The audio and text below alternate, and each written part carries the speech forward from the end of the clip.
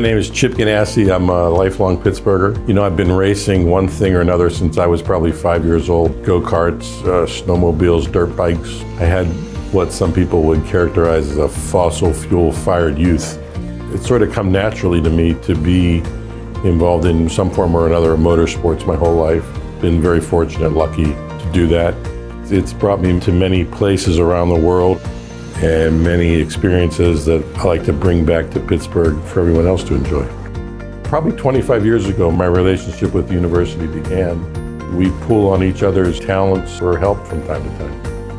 Today we welcomed Chip Ganassi onto campus. We were lucky enough to give him a tour of our garage where we assemble our vehicle. I think one of the most powerful things about meeting Chip is understanding that he's just a normal guy that loves racing. And all the wisdom that comes along with that is a result of him basically starting out as a young kid, working his way all the way up to the top, and keeping that persona all the way through. As a child, I always just dreamed of, of, of racing as a career. Even as late as 21 or 22 years old, I thought that had no chance of happening. I was just very lucky to bump into the right person at the right time, and I made a few steps that were integral in my future. If there's one thing I could say to young people today, it would be don't ever count yourself out because you put yourself in a position for luck to strike you. I found racing to be a microcosm of life, if you will. It has all the ups and downs compacted into a weekend or compacted into a season or compacted in a period of time.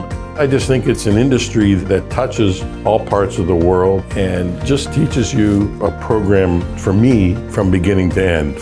How a vehicle of any sort is built or starts out in some stage of thought first, and then to build it, to race it, to win with it, and then to win a championship with it is a process that parallels a lot in life, I think lots going on in the area of uh, propulsion.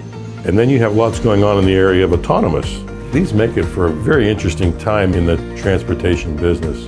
And ultimately out of that comes racing. And racing will drive some of that technology in which direction.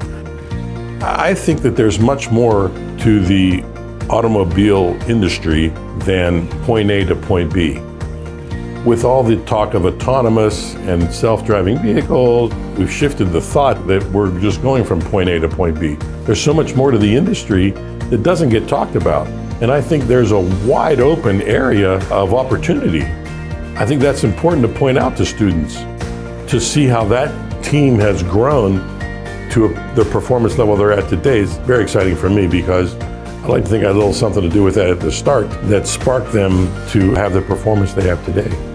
I think that the biggest thing that we've learned from Chip is it's just important to learn from your wins as it is from your losses. Uh, Chip's a big fan of winning and how to continue to push yourself even whenever you are the leader in your own division. We've won races all over the world. We won some pretty big races all over the world and continue to do so. Along with each and every one of those different formulas that we're in come a whole new list of engineering challenges we face and, and problems to solve what a better place to start doing that than here at CMU.